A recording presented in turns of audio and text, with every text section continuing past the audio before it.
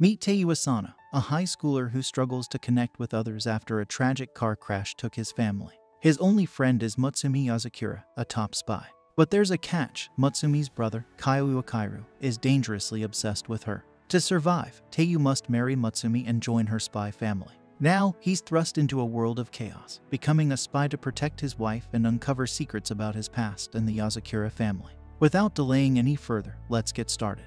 A tragic event struck Taiyo Asano, a high school student, when he lost his entire family in a car accident, leaving him as the sole survivor. Sitting at his family's funeral, he reflects on how people often realize the true value of something only after it's gone. Seeing his childhood friend, Mutsumi Yozakura, grieving, he questions if forming bonds with loved ones will only lead to losing them. The fear of losing Mutsumi, his only remaining close connection, terrifies Taiyo. He struggles to contain his emotions, fearing the thought of her demise. Mutsumi notices his distress and reassures him, holding his hand tightly and promising she won't leave him alone. After the accident, Taiyo becomes withdrawn from his classmates, preferring solitude and feeling uneasy in their presence. Despite repeated invitations to join them for activities like soccer practice or karaoke, he declines each time, resembling someone playing hard to get. Despite his friends' efforts to include him, Taiyo remains distant, visibly distressed and on the brink of collapse. Realizing Taiyo's distress, his friends reluctantly back off, aware that pushing him further could worsen his condition. Determined to help him, they decide to try again another day, hoping to eventually bring him back into their social circle. Taiyo feels guilty for declining his friends' invitations because he doesn't dislike them at all. Actually, he's happy they asked him, but he has his own reasons for saying no. Just then, Mutsumi arrives and asks Taiyo if he rejected his friends again. Surprisingly, Taiyo can easily talk to her without experiencing panic attacks. Since Taiyo is always busy with work, he doesn't have time to make his own meals. So, Mutsumi often prepares his lunch and delivers it, making sure he doesn't skip his veggies. She expresses concern for Taiyo's situation and his lack of adherence to social norms, like any caring mother would. Taiyo is quick to remind her that she shouldn't talk like that, as she also rejected a boy despite his intelligence, good looks, and position as the soccer team captain. Mutsumi brushes off Taiyo's remark and advises him to move on, as it would sadden their parents watching from heaven. She offers him an egg roll from the lunchbox, but before Taiyo can eat it, their teacher, Hirakawa, interrupts, praising the taste of the food with excessive enthusiasm. Mutsumi appears irritated and questions why Hirakawa is present when he was supposed to be away for an overseas lecture. Hirakawa responds arrogantly, stating that he rescheduled his plans because he missed Mutsumi's cooking so much, deciding to return home early. His behavior comes across as domineering. He continues, complimenting Mutsumi's white hair streak and expressing a desire to touch her cheek. Mutsumi threatens to report him for harassment, causing him to cease his inappropriate remarks momentarily. However, he remains smug and shifts his attention to Teo, instructing him to meet in his office after school. This request makes Teo nervous, but Mutsumi remains silent. Once school ends, Teo heads to the vice principal's office, where he finds himself in a very awkward situation with Hirakawa. Hirakawa doesn't seem to understand personal boundaries, which makes Teo uncomfortable.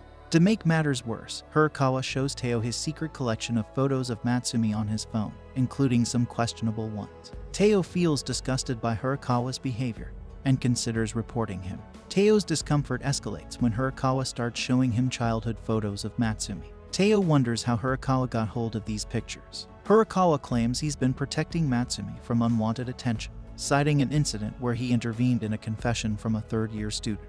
However, Teo realizes that Hirakawa's idea of protection involves violence. As expected, Hirakawa becomes hostile towards Teo out of jealousy towards his friendship with Mutsumi. Teo, feeling trapped, worries for Mutsumi's safety until he realizes that Hirakawa refers to her as his kid sister. Just as Teo fears for his safety, a silver-haired woman dressed like a doll suddenly appears at the window and rescues him using blinding lights. When Teo opens his eyes, he sees several unfamiliar faces looking at him.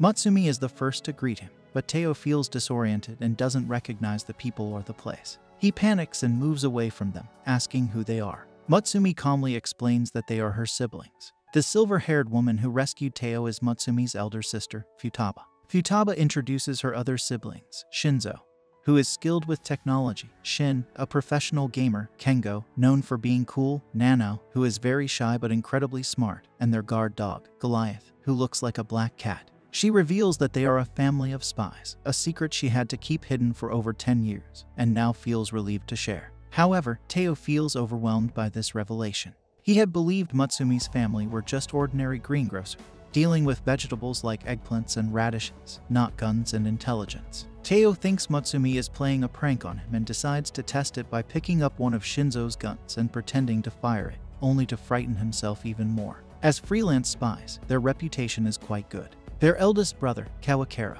who turns out to be Hirakawa, is highly respected among spies and plays a crucial role in boosting their family's reputation. Despite his perverted behavior, Kawakero is incredibly skilled in combat and intelligence, making him the top spy in their family. However, Teo is confused and asks why he was targeted by Kawakero. The family explains that they received a tip indicating that Mutsumi's life was in danger, as someone was planning to harm her. Futaba reveals that years ago, Mutsumi was seriously injured in an incident involving Kawakero.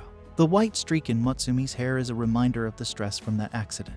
Since then, Kawakero has been plagued by guilt and developed an abnormal obsession with Mutsumi. This is why he changed his name and took a job at her school to keep a close watch on her. His obsession leads him to interfere in every aspect of Mutsumi's life, despite being a monster who protects her and has tolerated Teo despite his hatred for him. Now that he has received the tip, Kawakero has more than enough reason to target Teo. Futaba apologizes to Teo for her brother's behavior. Suddenly, the alarm blares, indicating that Kawakero has returned home. The siblings assure Teo that he is safest with them as they have set traps from the entrance to the living room where they are gathered. Despite their preparations, they acknowledge the risks a 30% chance of success, a 42% chance of one of them needing six months to recover, and a 25% chance of the house burning down. Seeing Teo hesitate, Futaba reveals the only way he can survive is by marrying Mutsumi. According to the peace treaty within their family, no member is allowed to harm another. To formalize the marriage, they must exchange the family's cherry blossom ring, worn by every member. The ring is divided into two bands, and once one gives their half to their spouse, the marriage becomes official. This action would protect Teo from Kawakero's anger and potentially help Kawakero move past his obsession with his sister. Teo struggles with the decision, so Mutsumi steps in and declines, citing Teo's recent loss and ongoing struggle to rebuild his life. She believes it would be unfair to casually ask him to join their family. Futaba apologizes for her insensitivity, and they prepare to handle the situation when Kawakero unexpectedly arrives and complains about feeling left out. Everyone tenses up as they didn't notice his approach. Futaba warns him to stay away from Teo, but Kawakero declares war, vowing not to relent until Teo is proven innocent. Fed up, Futaba grabs Kawakero by his tie and slams him onto the couch. Despite Nanao and Shinzo's attempts to overpower him, Kawakero proves too strong. He threatens to destroy the house unless they hand over Teo, wielding his weapon, Steel Spider. Kengo quickly escorts Teo and Mutsumi to safety. As Futaba engages Kawakero in battle, he quickly ensnares her with Steel Spider. Shin attempts to stall him with gaming attacks and projectiles, giving Kengo and Mutsumi time to escape to a hidden chamber. Before closing the door, Mutsumi smiles and assures him that she will not leave. Kawakero soon arrives and sees through Mutsumi's disguise, reminding her she needs to work on her technique. Teo watches everything from his hidden chamber, feeling helpless. Mutsumi tries to persuade Kawakero to give up his aggression, and he agrees not to harm Teo. However, he demands Mutsumi stay in the house to avoid trouble, forbidding her from using the internet, returning to school, seeing friends, or pursuing romance. He aims to restrict her freedom to keep her safe, which Mutsumi reluctantly accepts. As Kawakero approaches for a hug, Mutsumi's blade pierces his flesh, but he remains unfazed. Mutsumi agrees to his terms, prompting Teo to intervene and demand Kawakero release her. However, Kawakero ignores him. Teo understands Kawakero's fear of losing a loved one but realizes it shouldn't lead to that loved one fearing him the most. He suggests they proceed with the first plan Futaba proposed, trusting Mutsumi's promise not to leave. Mutsumi agrees and throws the upper band of her ring toward Teo but Kawakero intercepts it with his threat. Despite Teo's hand getting cut as he grabs the ring, he's determined to protect Mutsumi. Teo pledges to safeguard her and calls Kawakero bro as he wears the bloodied ring. Mutsumi rushes to hug Teo, and her siblings arrive to celebrate their union. Futaba taunts a stunned Kaiwa Kawakero, indicating that it's now his turn to teach Teo how to protect Mutsumi. Now known by his last name Yozakura, everyone addresses him by his first name, Teo. After the eventful evening, Teo is eager to return home and get some sleep. Mutsumi expresses concern about him heading home alone, but Teo reassures her he'll be fine. However, he's worried about Kyo, who has lost all color in his body. Futaba assures him that Kyo is okay. He's just struggling to accept the loss of his sister. As Teo arrives home, he still finds it hard to believe what happened. Exhausted, he collapses onto his bed. Upon waking, he sees Kaio standing over him with a knife, poised to strike. Acting on reflex, Teo dodges, impressing Kaio. However, Teo questions why Kaio is in his room so early and why he's armed with a knife. Kaio brushes off Teo's concerns, claiming he's there to give Teo the traditional Yozakura family wake-up call, although Teo finds morning calls usually less lethal. Kaio defends his actions by stating that a spy must always be prepared to handle threats, teaching Teo to be vigilant. But the next part is purely for revenge. Meanwhile, downstairs, Mutsumi is happily preparing a bento box for Teo when she hears his voice. She goes upstairs to greet him, only to find him being manipulated by Kaio. Confused, Mutsumi asks what's happening. Kaio explains they're just engaging in some morning exercise. Unimpressed, Mutsumi doesn't appreciate Kaio's actions, causing him to relent temporarily. However, Kaio interrupts, indicating they're running out of time. He grabs Mutsumi and drags Teo out of the window just before the building explodes. Teo is left with many questions about the sudden explosion at his house, but Kyo assures him that he'll explain everything later. For now, he emphasizes the importance of their mission, protecting Mutsumi Yozakura at all costs. Recognizing the danger posed by the explosion's attention, Kyo urges them to leave. As they depart, Mutsumi calls for Teo to join them. In a limo, Kyo finishes a call with Shinzo, who has analyzed the explosion site and discovered a bomb planted in the kitchen. Teo is puzzled as to why there would be a bomb in his house if Kyo wasn't involved, but it's evident that Mutsumi was the target. Word spreads quickly in the spy world, especially when someone vents about losing his sister on social media. However, Teo still doesn't understand why Mutsumi is being targeted. Kyo explains that it's because she is the 10th head of the Yozakura family. The Yozakura lineage dates back to the Edo period, with generations of ninjas. While many family members possess superhuman ability, there is always one ordinary person born into the family known as the head. Although the head lacks superhuman ability, their children inherit the abilities of the Yozakura gene pool. Therefore, the superhuman family protects the head, ensuring the continuity of the Yozakura lineage. However, as her siblings, they prioritize Mutsumi's freedom to live her own life. However, Mutsumi counters that all her siblings are risking their lives to protect her, so she must fulfill her role as the family head as well. Kaido is moved to tears by his sister's sense of duty, but he struggles to accept her marriage to Teo. Despite his personal frustrations, Kaido further explains that Mutsumi will eventually have to make her debut as the head of the Yozakura family. But before then, her mission is to gather as much knowledge about the ordinary world as possible, which also exposes her to various villains who aim to destroy the Yozakura family. As an example of the dangers they face, a black van begins tailing them and fires an RPG.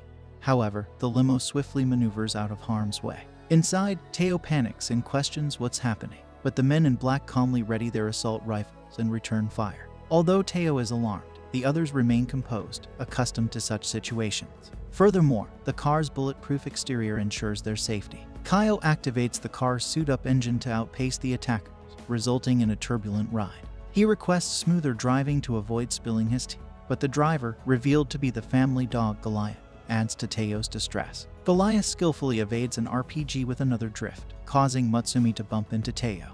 At that moment, Kaio decides to end the chase and leaps onto the roof, prompting the attackers to open fire despite recognizing him. After Kyo finishes speaking, he re-enters the car and reiterates that the primary mission of the Yozakura family is to ensure Mutsumi's safety from any danger, which now extends to Teo as he's part of the family. Teo is tasked with protecting Mutsumi, and to aid him, Kaido will train him in the fundamentals of being a spy. Pulling out a gun, Kaido informs Teo that his first mission is to keep Mutsumi safe from the assassins targeting her today. Later, they arrive at school, and Mutsumi greets her classmates as usual. However, Asano rushes in and searches the room for potential threats, causing concern among the others. As Teo's potential friends approach him, he remains withdrawn. Before leaving the limo, Teo hesitates to take the gun. Kyo reassures him that even if he were to use it, the family would handle the consequences. Despite this, Teo declines the offer. Mutsumi intervenes, expressing her disapproval of offering Teo a gun, which Kyo misconstrues as understanding him. Mutsumi clarifies that assassins typically use poison, or explosives, rendering a gun ineffective. Hio concedes her point but argues that having a gun may still provide Teo with peace of mind. Teo's mission is to defend Mutsumi from a notorious bomber named Tamiya. Despite having collaborated with Tamiya in the past, Kiyo emphasizes the lack of loyalty among spies, warning Teo to trust no one. Despite his flaw of being addicted to social media, Tamiya tends to post about his jobs and targets online. Kyle would have preferred to accompany Teo, but he has hostages to rescue, so he advises Teo to remain vigilant because Tamiya is known for his twisted methods. Tamiya typically starts with minor bombs to lower one's guard before deploying his more potent specialty bombs. Meanwhile, Teo searches the classroom but finds nothing suspicious. However, he realizes that Mutsumi may still be in danger as Tamiya could have already infiltrated the school. Upon receiving an update from Tamiya's page about the second bomb, Teo panics and begins searching the entire school. He notices a suspicious individual in the building and rushes to investigate. As he approaches the infirmary to search for the bomb, he is caught off guard by the nurse, who asks if he needs assistance. Teo feels uneasy but brushes it off when the nurse asks if he's okay. However, her unsettling smile makes him uneasy. When he looks back, she's gone, and a note on the door states the nurse is absent. Meanwhile, Mutsumi enjoys lunch with her friends who discuss rumors of UFO sightings and a mysterious 3 meter tall figure. Unbeknownst to them, these are Mutsumi's family members watching over her. Teo feels overwhelmed as Tamiya's social media indicates the planting of another bomb, yet he hasn't found the second one. Taking a moment to observe Mutsumi, he notices she never eats immediately and avoids being alone, showing her vigilance despite her cheerful demeanor. Suddenly, Teo's friends offer him a chocolate, but they're surprised when he simply accepts it instead of feeling overwhelmed, as he usually would. Teo realizes he forgot about his severe social anxiety due to his concern for Mutsumi, but it quickly resurfaces. His friends consider taking him to the infirmary, but they remember the nurse is absent, so they turn to Mutsumi for help. Later, Teo wakes up in Kyo's office with Mutsumi beside him. He asks if she's sure about marrying someone like him, considering he knows little about her family or her position as the head, and that she's in danger. Mutsumi chides him for being negative, mentioning he's the one who got the short end of the stick, marrying into a family of spies with the constant threat to her life. Despite all this, she's always wanted Teo as her husband, so she's thrilled he married her. Teo was about to speak, but then he spots a bomb planted in the ceiling, and moments later, it detonates. He manages to shield Mutsumi from harm, but he's baffled as to how Tamiya knew they'd be in that office. It dawns on him that Tamiya has been orchestrating events to target Mutsumi through Teo's movements, unbeknownst to him. Realizing he might be used to target her again, Teo hurriedly unbuttons his shirt and discovers a bomb attached to it, likely planted during gym class. Tamiya's continued postings about bombs ensured Teo stayed close to Mutsumi for protection. Despite the blocked exit, Teo propels himself through a hole in the wall to shield Mutsumi from the blast. Thankfully, Kaio arrives in time to rescue Teo, having just completed his own mission. He commends Teo's quick thinking in identifying the bomb and notes its simplicity as its flaw, allowing a wire to disable its detonation. Once the immediate danger has passed, they settle back down, and Teo raises the question of what to do with the still active bomb. The logical course of action would be to return it to its owner, and conveniently, other family members have already located him. Learning that it was Teo's inaugural mission, they all pitched in to assist him. Kaio takes charge, restraining Tamiya who pleads for leniency, but none is granted. Tamiya is launched hundreds of feet into the air, and when Kaio releases the wire controlling the explosive, Tamiya meets a fiery demise. Yet, even in his final moments, he manages to post a farewell message on social media. With that matter settled, the issue of Teo's homelessness arises, given that his house was destroyed.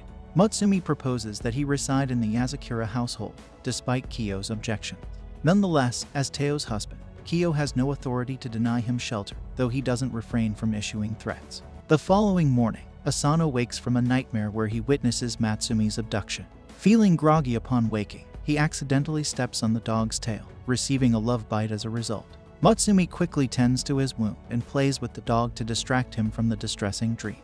Determined to prevent his nightmare from becoming reality, Asano approaches Fuda and implores her to train him to become stronger. He expresses his desire to protect Mutsumi from harm, recalling how he narrowly saved her last time with sheer luck and Haze's assistance. Fuda dismisses his notion that strength can be attained quickly through emotion, illustrating her own rigorous training regime since childhood. She offers him the opportunity to join the intensive Yozakura training program, cautioning that it will require dedication and time. As excited as Asano is, Fuda adds the condition that he must stay at the Yozakura household for a month before the real training begins.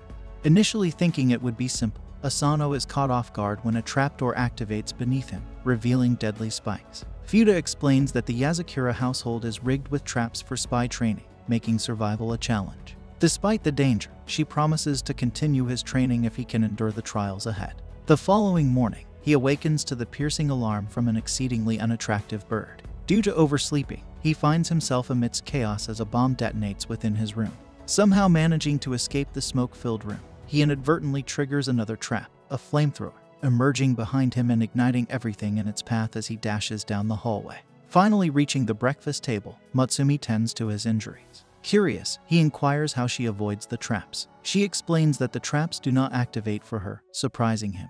Shin clarifies that the traps are computer controlled, and once someone successfully navigates and disables them all, they are accepted as a house member by the computer, granting them the ability to activate or deactivate the traps. She further explains that typically, it takes about two years for someone to clear all the traps, which is quite a long time. Before he can protest, he begins to feel discomfort in his stomach. Fuda explains that the food in the house contains a small amount of poison to build immunity, causing gastrointestinal issues, but not fatal harm.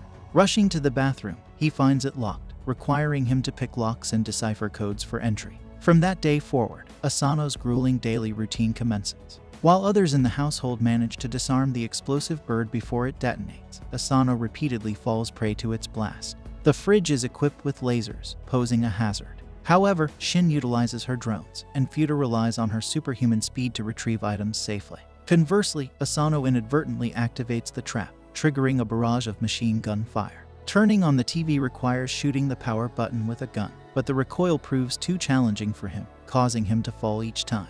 At lunch, he struggles with the poison-laced food and deciphering the washroom codes, despite Mutsumi's encouragement. Even bathing becomes a trial, with the shower simulating Russian interrogation techniques, which he detests. The following day, he appears exhausted at school, burdened by a 30 kilograms shirt intended to maintain his basic strength even during rest. After a draining day, upon returning to his room, he finds Mutsumi asleep at her desk. He covers her with a blanket, inspired by her diligence, then decides to practice shooting skills outside.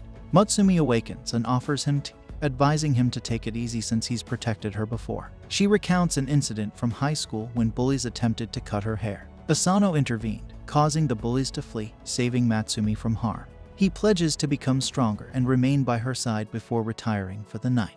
Weeks pass, and Asano learns to disable the birds effortlessly and navigate the laser traps, skillfully using the pistol to turn on the TV. Shinzo praises Asano's ability, but Asano admits he still struggles with changing channels. Shortly after, Shin enters the room and presents Shinzo with Asano's progress report since his arrival. Later that day, Tubhead instructs him on escaping the poison gas trap, and he manages to endure the basic poison food. However, upon trying the milk, he falls ill again and rushes to the washroom, only to be thwarted by the access codes. Concerned, they find him nearly unconscious on the floor. Fuda rushes him to the infirmary for examination, discovering he has a fever from exhaustion. Upon closer inspection, they find he's wearing a fake bodysuit, concealing his battered and bruised state from rigorous training. To spare Mutsumi worry, he requested the disguise while recovering. Impressed by his exceptional progress, Fuda advises him to rest and provides a book on coding. She insists he complete it before resuming training. After a week, he successfully cracks the washroom locks, marking his acceptance as a Yozakura House member by the computer. However, his relief is short-lived as Shinzo presents a 100 kilograms shirt, signaling an increase in training intensity. As Shin elevates trap difficulty from normal to hard, Asano realizes his journey has only just begun, understanding he has much to learn before he can protect himself and Mutsumi from all dangers. The next morning, Mutsumi prepares breakfast as usual, while Asano clumsily attempts to put on her undergarments. She shoots him a disapproving look, commenting on his strange behavior and assuring him that, despite his odd fantasy, she won't divorce him. Asano insists it's all a misunderstanding, explaining he's just practicing his disguises. Suddenly, a stunning blonde woman enters the kitchen, asking if everything is alright. Asano is puzzled, but Mutsumi recognizes it's Kengo in disguise. Kengo playfully bothers Asano, but Mutsumi intervenes, telling him to stop and leave Asano alone. Hise then appears, requesting a goodbye kiss from Mutsumi before leaving. Overwhelmed, Mutsumi reprimands both Kengo and Hise with a smack on their heads. Later that day, Asano meets Shinzo, who is preparing to embark on a solo mission. Asano inquires about the mission's danger level, but Shinzo assures him it's low risk, involving gathering information on a counterfeit money operation, and shouldn't take much time. Asano wishes Shinzo luck and heads to school with Mutsumi. While walking towards the school building, a ball hurtles towards Asano at high speed, but he instinctively catches it and effortlessly throws it back with remarkable strength. Later, during lunchtime, Asano and Mutsumi go to the roof to eat. Mutsumi mentions to Asano that he may not realize it, but his strength and skills have noticeably improved due to his training. His footsteps have become so quiet that people now jokingly call him a ninja. Mutsumi then asks if Asano is available after school to assist her with some work. Asano agrees, and when they return home, Mutsumi assigns him various tasks related to paperwork. As Asano brings more documents, Mutsumi swiftly analyzes them and identifies errors. She designates Asano as her personal assistant and instructs him to send emails to investors to boost their stocks. While sorting through the files, Mutsumi notices a report by Kengo that appears to be incomplete. Angered by Kengo's repeated negligence, Mutsumi takes Asano to Kengo's room, which is overflowing with clothes. Mutsumi demands that Kengo complete his report immediately, and he miraculously emerges from atop the pile of clothes to fulfill her request. Kengo dismisses Mutsumi's seriousness and continues eating his sushi, telling her to stop acting like an overprotective grandmother. Mutsumi becomes furious and grabs her handcuffs to enforce punishment in the Yozakura style. Realizing the gravity of the situation, Kengo swiftly escapes the room by leaping out of the mound of clothes. Asano, having honed his speed through training, blocks Kengo's path. However, Kengo outsmarts him by impersonating Mutsumi, causing Asano to lower his guard. Seizing the opportunity, Kengo rushes past him and activates the house's hibernation mode to seal it off completely from the outside world, erecting giant walls around the property. Mutsumi informs Asano that once this mode is activated, there is no way to escape the house. Meanwhile, Shinzo infiltrates the premises by navigating through the air vents. He discovers a large-scale operation led by a millionaire who has circulated 60% of the counterfeit currency. Traveling through the ducts, Shinzo realizes that the operation involves highly intelligent individuals who have devised intricate safety measures. Utilizing his Apple Vision Pro glasses, Shinzo gains valuable insights, enabling him to identify containers holding fake money. He descends through a hatch and successfully hacks into a secret case, retrieving a framed note that appears to hold significant importance. However, before he can investigate further, an alarm is triggered, prompting him to flee the scene.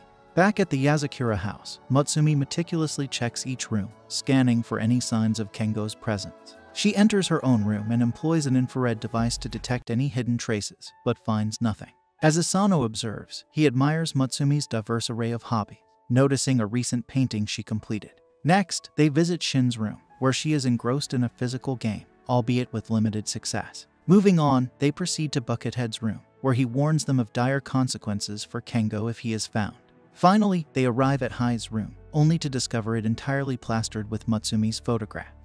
As Asano wonders if Kengo could have eluded them, Mutsumi assures him that escape is impossible with the house under lockdown. Suddenly, the other siblings join them, inquiring about Kengo's whereabouts. Just then, Asano hears a noise and turns to see Kengo's face hidden within a picture frame of mammalism. Kengo swiftly flees, and Asano gives chase but soon yells in surprise as he falls. Rushing over, Mutsumi finds Asano on the ground, nursing his head, claiming that Kengo threw the frame at him and darted into a cavity within the wall. Mutsumi concludes that Kengo must have found a means to bypass the lockdown, fueling her anger as she storms back to Kengo's room, determined to lift the lockdown. Upon entering, she swiftly handcuffs Asano, suspecting that Kengo has taken his place in a desperate bid to deceive her. Convinced of Kengo's ruse, Mutsumi asserts that there is no way out of the lockdown, implying that Kengo intends to escape once she lifts the restriction. Kengo acknowledges his defeat and removes his disguise, joining Mutsumi in searching for the needed paperwork. Later, Asano enjoys a delicious curry prepared by Mutsumi, prompting him to inquire about the secret ingredient. To his shock, Mutsumi jests that cyanide is the secret, causing Asano to feel ill and excuse himself to answer a phone call. Upon answering, he finds Shinzo on the line, urgently pleading for Mutsumi's assistance. They engage in a video call, during which Shinzo tearfully recounts being caught in a gunfight without ammunition. Mutsumi explains to Asano that while Shinzo is a skilled spy, he heavily relies on his weapons, rendering him vulnerable without them. She asks Asano to deliver weapons to Shinzo, to which he readily agrees. After donning appropriate attire and carrying a bag of weapons, Asano navigates through the secure building's corridors. Unfortunately, he is intercepted by a guard who aims a gun at him. Drawing upon his training, Asano deflects the gun and swiftly subdues the guard with a series of strikes. As more guards converge on the scene, Asano employs his combat skills to fend them off, utilizing his surroundings to his advantage. He manages to neutralize the threats, even using a weapon provided by Shinzo to incapacitate another guard with an electric shock. Locating Shinzo, Asano is greeted with gratitude and embraces from Shinzo, who thanks him profusely for the weapons. Suddenly, additional guards arrive, prompting a swift change in Shinzo's demeanor as he eliminates them with expert marksmanship. Retrieving a framed note, Shinzo leads Asano out of the room, effortlessly dispatching more adversaries along the way. However, their escape is interrupted when Asano is shot in the leg by a sniper, causing him to collapse in pain and begin bleeding. The sniper demands that Shinzo surrender his weapons, posing a dire threat to their escape. Following Shinzo's instructions to ensure Asano's safety, he relinquishes his gun. However, Asano recalls Shinzo's resourcefulness and quickly throws a fork at him. Shinzo catches it and skillfully uses it to disable the sniper's weapon, buying them precious time. Asano seizes the opportunity to retrieve his gun and eliminate the threat, ultimately saving his own life. As night descends, Shinzo carries Asano on his back as they make their way back. Asano expresses his gratitude to Shinzo for saving his life, acknowledging that he would not have survived without him. Meanwhile, in another location, a vagrant infiltrates a facility, overpowering the guards with a hammer. Despite his efforts to extract information about their leader, the guards remain steadfast, leading to their demise. The vagrant, armed with a picture of his next target, Asano, sets off on his mission. Days later, Asano, with his leg partially healed, strolls along a street beside a quiet road, engaged in conversation with Mutsumi on his cell phone. She recounts the legend of a special Ferris wheel in their city known as the matchmaking Ferris wheel. As they chat, she expresses her desire to spend a day with him there on their next day off, suggesting that couples who watch the sunset from the Ferris wheel are destined for lasting happiness. As Mutsumi's voice fades into the background, Asano notices a white sedan pulling up beside him. A disheveled man emerges from the car, his appearance unsettling. Asano locks eyes with the mysterious figure, a sense of foreboding settling over him. Mutsumi notices Asano's lack of response and calls out to him. In a serious tone, Asano informs her that he needs to end the call and moves the phone away. Meanwhile, the man from the car approaches Asano, confirming his identity by using his name, which unsettles Asano. Observing the man's actions, Asano watches as he retrieves a police ID card from his coat and introduces himself as Hodo, a police officer from the Koizumi precinct. Without elaborating further, Hodo requests Asano's presence at the police station for interrogation. With little room to refuse, Asano agrees and accompanies Hodo to the police station. Inside a dimly lit interrogation room with only a small light bulb, Hodo wastes no time in presenting a photo found on the dark web. The image depicts Asano during recent altercations. Seeing the photo, Asano is deeply disturbed, realizing that it's accessible to anyone online. He questions how his photo ended up on the dark web despite assurances from the Yozakura siblings about maintaining secrecy regarding their clandestine activities.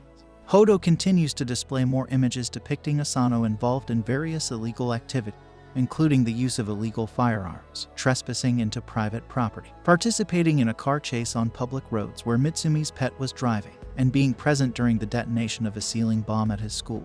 Asano realizes that he wasn't responsible for some of these incidents, but he remains silent when Hodo accuses him of all the crimes. Hodo expresses his skepticism, noting that a teenager couldn't orchestrate such activities alone and questions the absence of evidence implicating any accomplices. He suspects that Asano is affiliated with a covert organization engaging in these activities discreetly. Hodo offers to mitigate Asano's punishment if he provides valuable information leading to the arrest of others involved. Despite the pressure, Hodo persists in pressing Asano to divulge any secrets and expose his alleged collaborators. But Asano is aware of the consequences of betraying trust. He thinks about the Yozakura siblings, and with determination, he asserts that he doesn't know anything.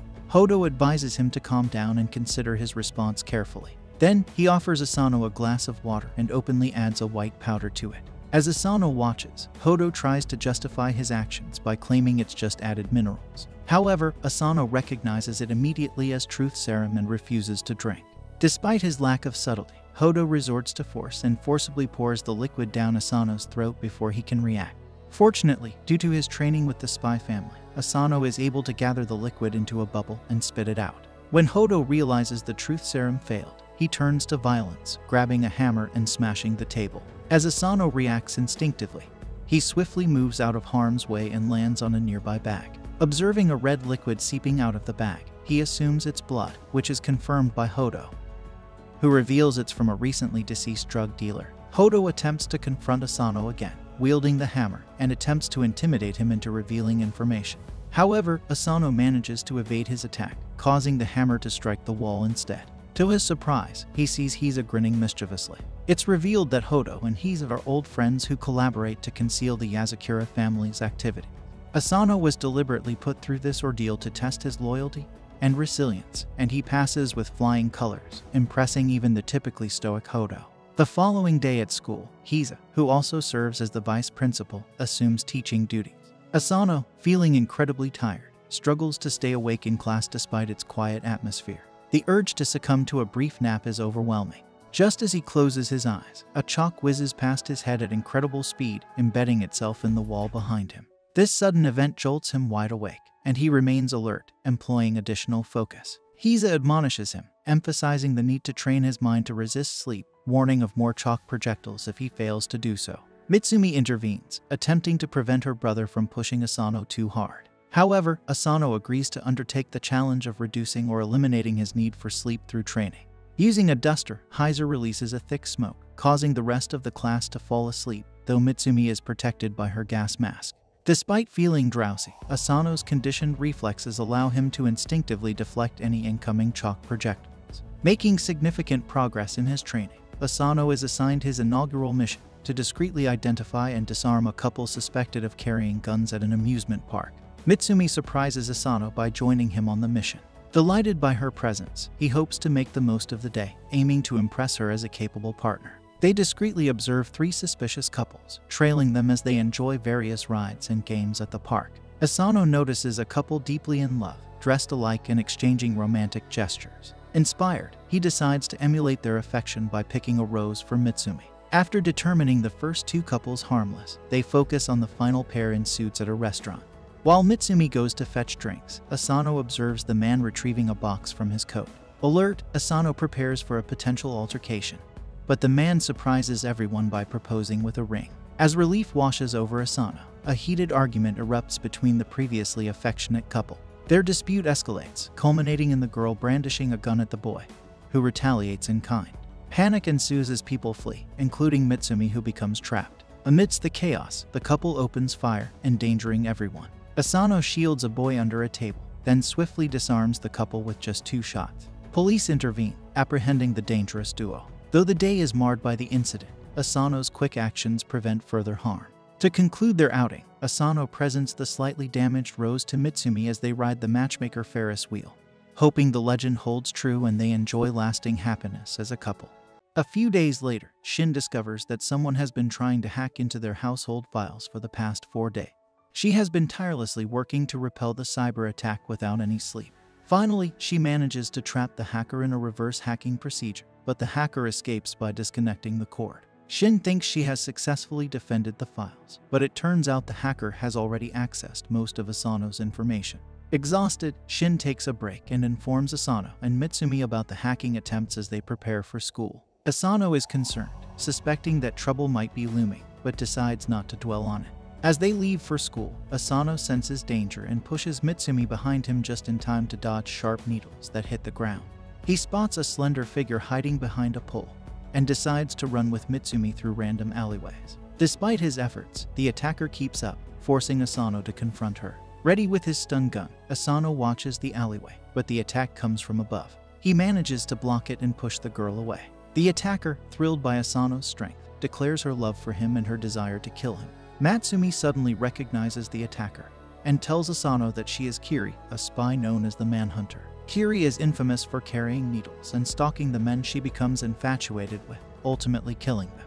This comment irritates Kiri, who warns Mutsumi never to call her something vulgar like Manhunter again, or she will stab her in the eye. Kiri is clearly smitten with Asano, explaining that she first saw him in a video on the dark web and has been infatuated with him ever since. She reveals that Asano is quite famous in the under and pulls out a poster showing a 100,000 bounty on his head. Kiri says this worries her and suddenly throws some needles into the air, causing a man with a gun to fall from above. She explains that many people are after Asano to claim the bounty, but she doesn't care about the money, she only wants to kill him for love. Kiri boasts that she knows everything about him, like how he never walks through a garden during a mission, always tries to repair any damages, and even pays for a ticket before using it on a mission. Even Mutsumi admits that Kiri's dedication is impressive, while Kiri demands that Asano live with her forever. Asano calmly declines, stating that he is married to Mutsumi and will never leave her side. Kiri starts crying, accusing Mutsumi of being an ugly thought who must have brainwashed Asano into staying with her. This angers Asano, but he stays quiet as Kiri declares she wants to kill Mutsumi and take Asano away. However, Hise has forbidden her from harming even a hair on Mutsumi's head. Confused, Mutsumi asks if Hise knows about this. Kiri explains that no one can target anyone in the Yozakura family without Hise's knowledge. She got his permission to kill Asano, and he even gave her the security codes to access his files, enabling her to hack the data successfully. Kiri then twirls and showers them with needles, demonstrating her skill by ensuring none hit them. She tells Asano she'll see him soon before jumping over the attacker's body and walking away. Later, in class, the teacher announces a new transfer student, who turns out to be Kiri. She gives a warm greeting, and the boys immediately start admiring her. The teacher asks her to sit beside Asano, which makes him nervous. As she runs to her seat, she intentionally falls and shoots a needle at him. Asano barely deflects it with a notebook. From that moment, his days turn into a game of dodging Kiri's needles and staying alive. Kiri booby traps his seat with poisonous needles and hides needles in her pencil. Despite the constant danger, Asano adapts, even dodging needles while eating lunch with Mutsumi without looking. Eventually, the relentless cat and mouse game begins to wear on both of them, leaving them exhausted. Kiri cries at her desk as Asano blocks another one of her attacks. Frustrated, she throws a barrage of needles into the air, hitting all their classmates and knocking them out. She then reveals that she can control anyone struck by her needles and commands the entire class to subdue Asano. Not wanting to hurt innocent people, he ends up getting captured as Kiri prepares to finish him off. Just in time, Mutsumi intervenes and tells Kiri to stop. Before they can talk, the window bursts open and the assailant Kiri previously knocked out jumps in with a handgun, firing a shot at Kiri. Mutsumi pushes her out of the way but gets grazed by the bullet. Enraged, Asano pushes everyone off him and quickly takes down the attacker with a stunning bullet before rushing to check on Mutsumi. Kiri is confused about why Mutsumi saved her, but Mutsumi explains that she's glad someone else sees how great Asano is, which makes her really happy. Kiri then becomes inseparable from Mutsumi, making it her new goal to kill Asano so she can have Mutsumi all to herself. This bothers Asano, but Mutsumi tells him to think of Kiri as a little sister and nothing more. A few days later, Shin calls Asano to her room, saying she wants to play some games with him as part of his training. Mutsumi warns him that Shin takes her games very seriously. The last time Shinzo played with her, he had to stay up for three nights straight before finally passing out. Asano starts playing the game with Shin, who takes the lead and starts destroying the enemies. Asano quickly gets the hang of it. Soon, they face the final boss, a steam engine that needs to be stopped. They mash the keys furiously and manage to clear the level, stopping the engine. Suddenly, a news report announces that a hijacked train carrying hundreds of innocent lives had miraculously stopped, and the hijackers were found unconscious. Asano realizes that Shin turns real-life missions into games where there are no extra lives and no retry. Feeling the pressure, they move on to the next mission, which is even more dangerous. A group of terrorists has taken a helicopter and plans to crash it into a nuclear power plant, causing a disaster similar to Chernobyl. Shin urges Asano to do his best as she expertly maneuvers through complex landscapes and attacks enemies. Meanwhile, Asano struggles to navigate the obstacles, getting stuck and even glitching through walls. Ignoring his difficulties, Shin continues toward the final boss. She jumps into the air and delivers a killing blow, eliminating it. Surprisingly, the match isn't over. The terrorists had a backup plan and unleash hundreds of drones to destroy the power plant. Even Shin thinks this might be too much for them. But Asano, using his resourcefulness, revives the boss with a potion and uses it to take down the hordes of enemies. Kiri joins in from her own computer, and together they destroy all the drones, winning the game and stopping the terrorist attack. Shin, however, is not pleased that Asano was taking advantage of glitches. So, she forces him to play with her for two nights straight, after which he gets knocked out as well. A few days later, while Asano is doing his intense Giga Chad training with 500 kgs on his back, he gets a call from Nanao, who needs help. Nanao explains that he's on a top secret undercover mission in an evil lab where scientists are creating bioweapons. They've developed a pill that can instantly kill everyone within a 10 kilometers radius if it explodes. Despite the seriousness of the situation, Nanao talks about it casually.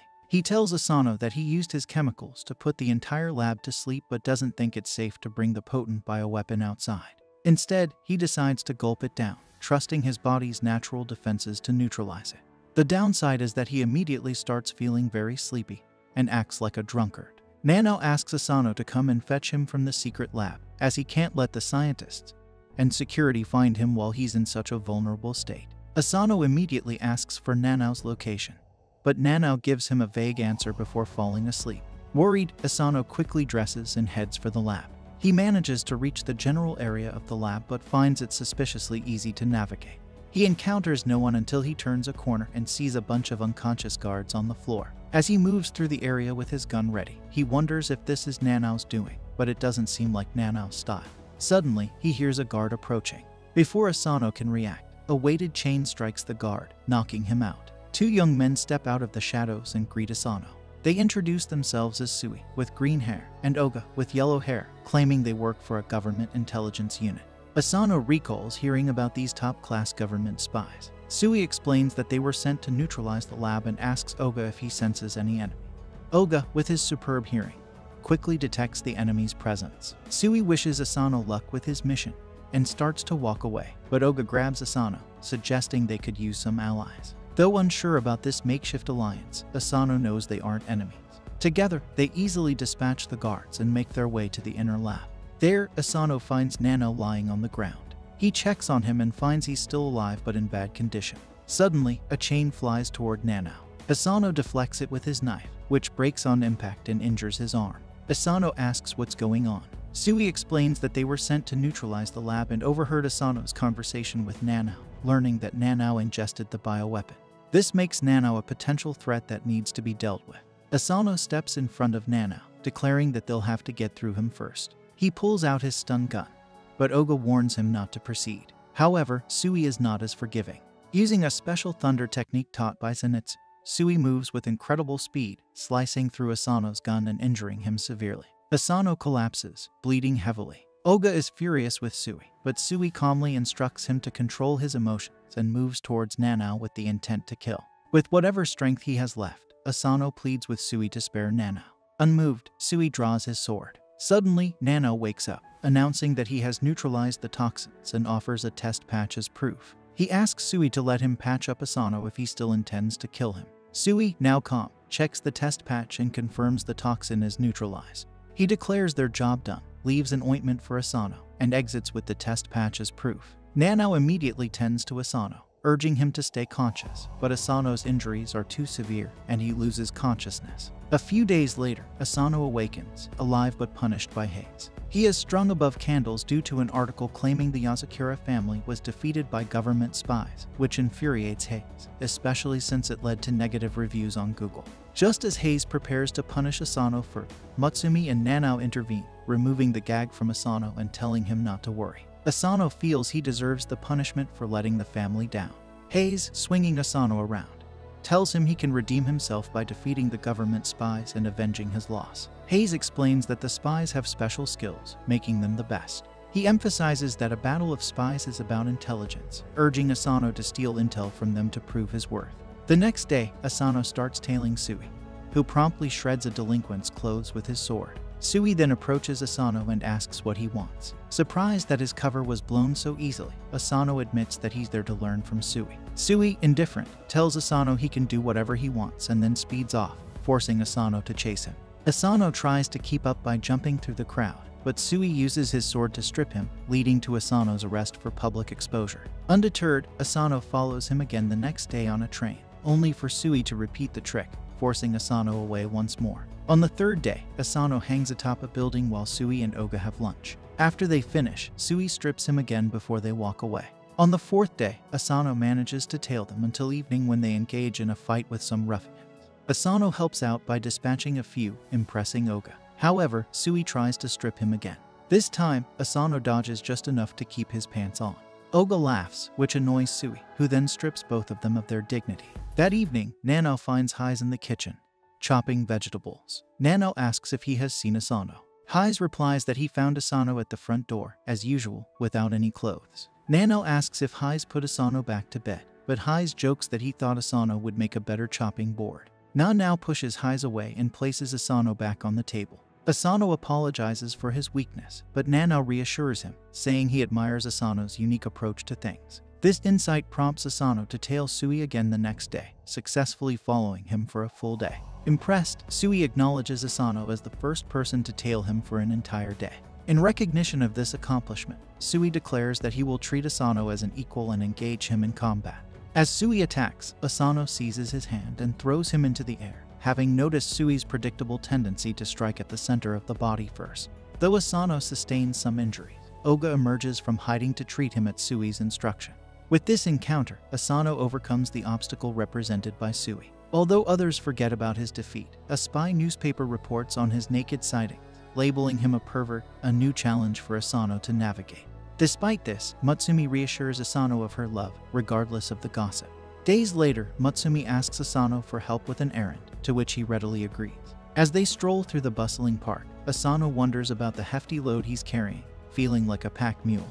Mutsumi reassures him and leads the way towards a bench where the familiar green-haired Sui awaits. Sui greets them curtly, while Mutsumi engages in casual conversation with him. Asano, still confused, asks what's going on.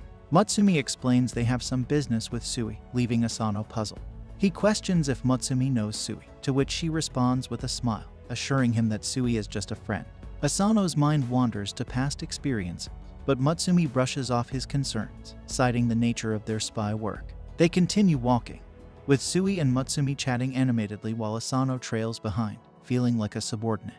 They enter a cafe-like establishment, which surprises Asano, expecting a more serious outing. Inside, the cafe resembles a pricey Starbucks, reminiscent of a lavish setting. Sui proceeds to order a coffee with a complex name, leaving Asano bewildered. Mutsumi, on the other hand, seems impressed by Sui's coffee expertise. As the barista operates a mysterious device, a trapdoor suddenly appears beneath them, sending them all tumbling through. As Asano plummets alone with the bulky luggage, Sui gallantly carries Mutsumi, engaging in conversation with her. Sui introduces them to the government spy headquarters, prompting Asano to caution him to keep his hands off Mutsumi. Mutsumi reassures Asano that Sui is just a friend, leading Asano to question her loyalty. Sui miraculously produces a cup of tea as they converse, advising Asano to remain vigilant as the situation could escalate. Suddenly, a barrage of projectiles, including arrows, darts, spikes, and lasers, flies toward them, part of the facility's security measures and training protocol.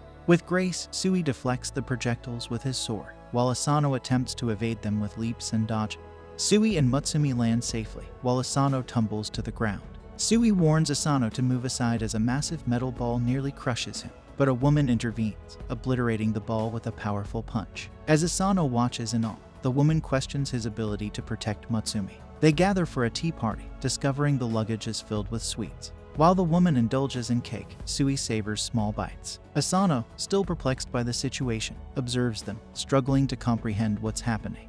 Mutsumi clarifies that the woman is Rin, Hai's classmate, with whom he always clashed. Despite their differences, they both care deeply for Mutsumi, who Rin affectionately embraces before turning to Asano. She expresses her desire for Mutsumi to marry a strong man who can protect her unconditionally. Rin mentions Sui's description of their encounter, stating that he called Asano a turd face, but Sui corrects that he actually called Asano a dirtbag, criticizing his weakness for a spy. Mutsumi defends Asano, asserting that even if he lacks experience, his determination and spirit are as strong as Hai's. Before they can continue, the walls begin to shake and collapse, revealing Hai's in his suit, furious that they took Mutsumi without his consent.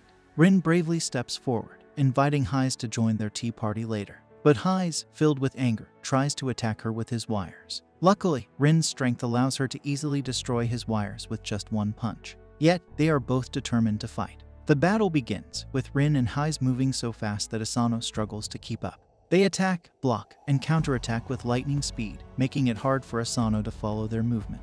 Suddenly, the entire facility starts to break down, and a red alert signals for everyone to evacuate immediately. Mutsumi explains to Asano that this kind of situation happens frequently, leaving him surprised. Sui advises them to stay back as he attempts to intervene.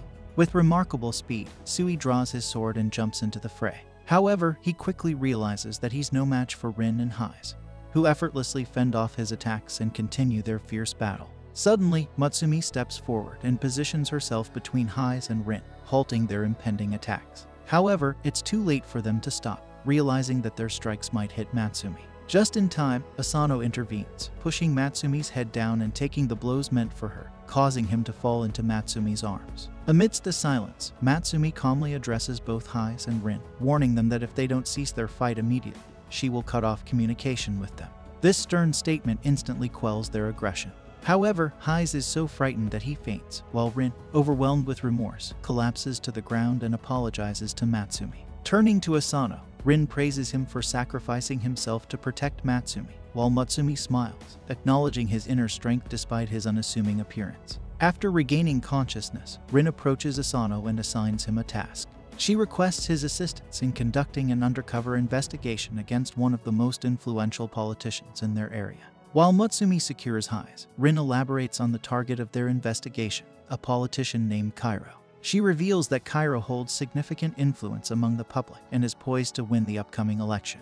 Initially, his eccentric appearance and lively campaign rallies masked his true nature. However, it's become apparent that he is nefarious, utilizing a trio of highly skilled spies known as Red, Blue, and Yellow to carry out his sinister deeds. These operatives serve as his enforcers, engaging in activities like extortion, bribery, and even murder to eliminate political adversaries. Despite efforts by government spies to gather intelligence on Kairo, their findings have been limited.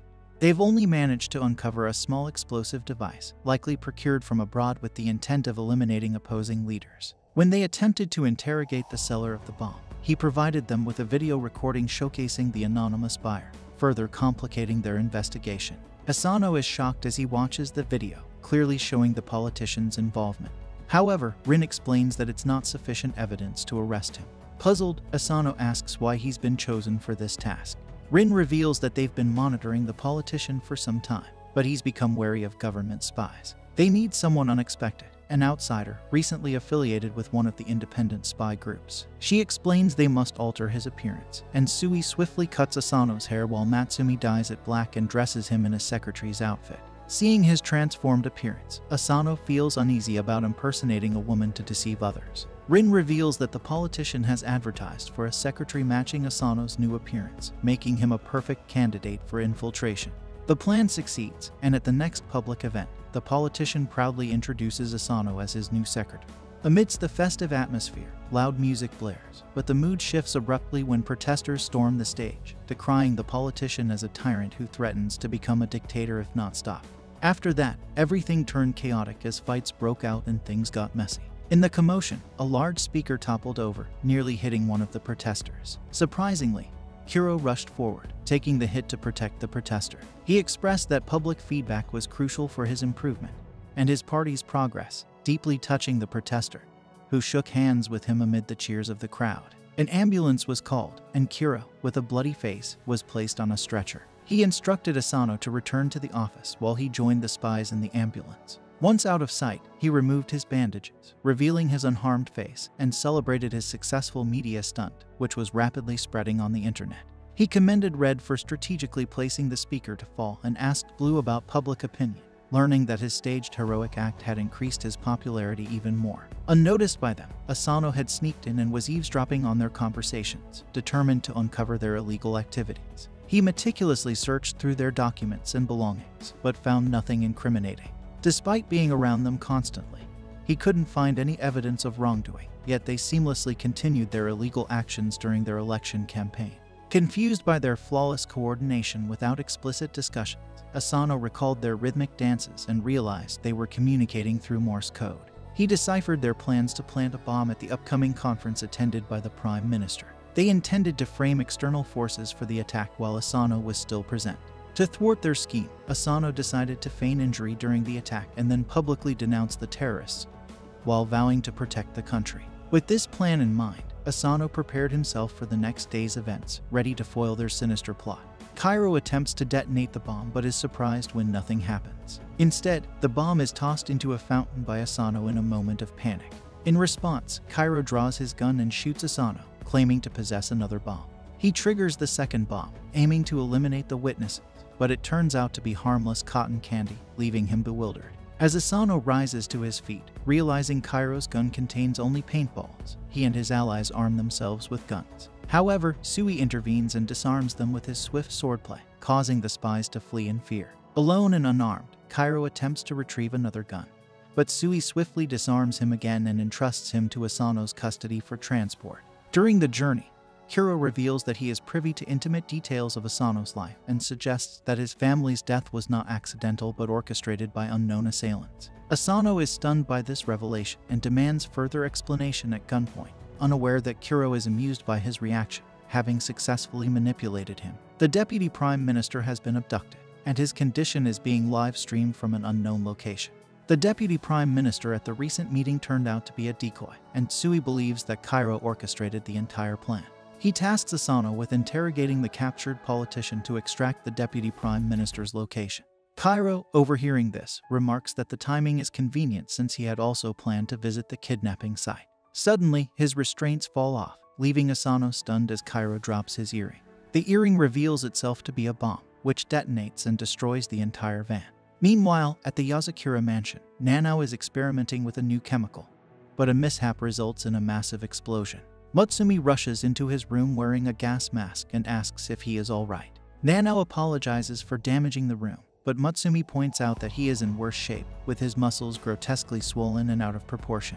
Nanao resumes his work, explaining to Mutsumi that he is worried about Asano potentially coming home severely injured. This is why he is trying to create a highly effective healing potion. When he asks Mutsumi if she is concerned about Asano, she admits that she is very worried as well. To prepare for Asano's return, she has cooked a grand feast, believing that even if he comes back injured, eating the food will help him recover instantly. Nanao, however, seems skeptical. Mutsumi then wonders what the rest of the family members are doing. Nanao tells her that Kengo is creating a machine-washable face mask for Asano in case he comes back home unrecognizable. Shin is busy disabling the computers of their critics to prevent them from causing a commotion if anything happens to Asano. Shinzo is extremely worried about Asano too, which is why he cannot bring himself to leave the garbage can. Haiz and Fuda, on the other hand, are calmly having tea. Fuda believes there is no need to worry because Asano can handle things when necessary. Haiz has the opposite attitude, wishing for Asano to meet a horrible end. Hearing all this does not ease Mutsumi's anxiety about her husband. Back at the location of the explosion, Asano is helping the injured driver, pulling him away from the flames. He receives a call from Sui, who asks if he is okay. Asano assures him that he is not injured and even managed to save the driver, but Kairo escaped. Sui replies that it is not a problem because they were expecting it. He reveals that they had been hiding the truth about Kairo's identity from him. Kairo is not just an ordinary politician but a former legendary spy thought to have died six years ago before starting a second career as a politician. They deliberately had loose security around him this time to figure out his plans. They placed a GPS tracker on Kairo, and Sui tells Asano to return home because his mission is now complete. On the other hand, Kuro removes the blindfold of the Deputy Prime Minister before taking a seat next to him. This meeting is being live streamed across the country, throwing the media and general public into chaos. That was Kuro's motive from the beginning. The minister expresses his disappointment in Kuro, whom he thought was a committed politician despite his odd activities. He tells Kuro that engaging in such terrorist activities won't change the political situation in his favor. Kuro starts removing his disguise, and as he takes off his funky glasses, the minister begins trembling upon noticing his pitch black eyes. Kuro remarks that the minister must have been certain he had killed him, which is why he didn't recognize his true identity earlier. The minister finally recognizes Kuro as a spy he had dealt with in the past. Kuro then turns to the audience and tells them that today, he will address them not as a politician, but as a man who lost his child. He reveals that he took revenge on numerous politicians involved in his downfall behind the scenes. However, the deputy prime minister was the biggest culprit, so he wants to deliver justice to him in front of the entire world. Kuro points his gun at him, asking if he will tell the world the truth and end his political career or refuse to answer and die. The minister scoffs, saying it is a foolish idea to ask politicians to speak the truth. Just as Kuro decides to end the minister's life, the stream gets cut off abruptly. Asano arrives just in time and shoots down the recording device. Kuro is pleased to see the young spy, but Asano demands he let the minister go. Kuro refuses, knowing that Asano can't shoot him because the minister would also be caught in the crossfire. Kuro fires at Asano's hand, forcing him to drop his gun. However, Asano uses this opportunity to close the distance between them and grabs Kuro from behind. Kuro, anticipating this move, grabs Asano and slams him to the ground. He knows all about the weapons and fighting techniques used by the Yozakura family and takes the steel wires from Asano's pocket, using them to tie him up. Asano demands to know how Kuro could be so knowledgeable about his tactics. Kuro replies that his expertise lies in gathering information and leveraging it to his advantage. Asano questions why a spy like Kuro became a politician and deceived the public. Kuro explains that he has no interest in politics and that everything he did was solely for revenge. Intrigued, Asano listens as Kuro recounts his story. Due to his exceptional skills, Kuro was highly valued in the political world and often tasked with politicians' dirty work. However, at home, he was just a loving, albeit foolish, father who adored his daughter. On her birthday, he wore a funky wig and glasses to entertain her, making her laugh at his antics. She remarked that if he wanted to surprise her, he shouldn't have sent the gift in advance. Confused, Kuro saw her pointing at a box in the corner that suddenly exploded, destroying their entire house. Kuro lost his daughter in the explosion and could only cry for her. He realized that his masters had decided to dispose of him now that he had served their purposes. In that moment, he vowed to exact revenge on them and make them feel the same pain he had endured. To accomplish this, he faked his own death and entered the political arena under a new identity. Kuro reveals that once he became a politician, it was easy to use his new position and past achievements to attract his targets, drawing them in close to exact his revenge. Kuro points his gun at the minister, declaring that he is the last one left. Asano suddenly lunges toward Kuro, but three of Kuro's spy guards appear out of nowhere and stop him. Kuro tells Asano that he cannot win against them alone. He adds that since Asano has also lost his family, he does not want to hurt him. Instead, Kuro proposes to tell Asano everything he knows about his family's death if Asano steps back now. Asano is tempted but resolute, stating that he wants to know about his family but not at the cost of someone else's life. Just then, Sui arrives, and before anyone realizes it, he cuts a huge hole in the floor. The three lackeys and Sui fall through the hole, and Sui asks Asano to deal with Kuro and rescue the minister. Asano attacks Kuro, but Kuro easily blocks his poison-laced knife. Knowing about the poison, Kuro stabs Asano with the knife, causing Asano's muscles to go lax, rendering him unable to fight back. Kuro strikes Asano away, and he lies on the floor bleeding. Asano tries to get up again, but Kuro tells him it is useless. Meanwhile, the three spies confront Sui, confident in their abilities. Red specializes in using fire, blue in high-pressure water that can cut through anything, and yellow in electricity that can fry any computer or brain. They boast about being unbeatable together, like Power Rangers. Sui is impressed by their confidence and decides to reveal his trick. He explains that his ability allows him to move very fast and silently, which is highly advantageous in battle. The three spy brothers combine their powers and send a giant elemental ball towards Sui. However, Sui uses a special Demon Slayer move to slash through it in one go, defeating the three brothers in the same move. He then decides to back up Asano but suddenly senses a presence behind him. Instinctively, he swings his sword at it, only to find nothing there. Despite this, Sui is certain that someone very powerful was there just a moment ago. Back on top, Asano manages to stand up again. Kuro talks to him about how the pain of losing one's family never truly goes away, and tells Asano that he cannot change anything about his life or his current situation. Asano admits that Kuro is right, but then remembers a day when he went to pay respect at his parents' grave. Mutsumi was praying by Asano's side, giving him strength. With this in mind, Asano charges towards Kuro, who is confident that he knows all of Asano's techniques and weapons. However, just as Asano reaches him, he uses Sui's silent stepping technique and appears behind Kuro before he can even react. Kuro is bewildered by how Asano knows this technique. It turns out that Hise had warned Asano about the dangers of fighting a pro, as they tend to know everything about their opponent. Hise explained that this overconfidence can be used against them since they lose their ability to deal with the unexpected. He advised Asano that even an imperfect or unrefined technique could surprise and work against a seasoned pro. Asano reaches behind Kuro, grabs his arm, and cracks open the antidote to the poison hidden in his teeth. Kuro tries stabbing him with a knife again, but Asano blocks the attack with synthetic skin on his arms. Kuro loses the knife and pulls out his gun, but Asano is already too close to let him take a shot. Asano pushes Kuro's hand back, jamming the gun with slime. Kuro pulls out a second gun, but Asano chops it with the steel spider wire and pins Kuro to the ground. Kuro realizes that his excellence in gathering information has led to his downfall. He praises Asano, saying he will become a great spy one day, and advises him to keep moving forward out of respect for his actions and determination. Kuro decides to share all his information with Asano. He grabs Asano's hand and places something in it, but before he can reveal anything about Asano's family, he is shot in the neck. Asano is stunned because he didn't hear a gunshot and there should be no one behind him.